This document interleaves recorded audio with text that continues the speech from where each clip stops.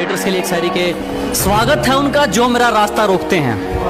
अजीब परिणाम है उनको, जो मेरा रास्ता रोकते हैं। शेर तब भी नहीं रुकता जब सो कुत्ते भोंकते हैं।